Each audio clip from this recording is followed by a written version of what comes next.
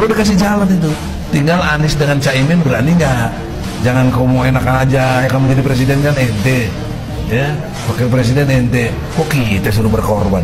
Kita pasti mendukung. Tapi yang di depan dong. Nabi Muhammad tuh yang di depan bukan dari belakang meja. Wah kacau ini kawannya.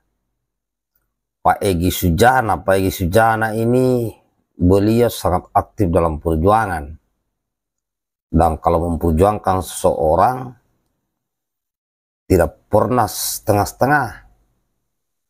Nah saat ini Pak Egi Sujana ini memperjuangkan Anies Caimin. Tapi ternyata ya beginilah ceritanya. Pendukungnya disuruh demo pendukungnya disuruh panas-panas disuruh lapar-lapar Nah, Anies Caimin santai-santai. Artinya memang Pak Anies dengan Pak Anies ini tidak bisa dijadikan pemimpin. Pak Anies ini maunya enak sendiri tapi pengikutnya sengsara. Makanya tidak ada milih. Dan memang tidak bisa jadi presiden kalau begitu. Coba lihat Pak Prabowo terdepan menyampaikan semangat untuk bangsa dan negara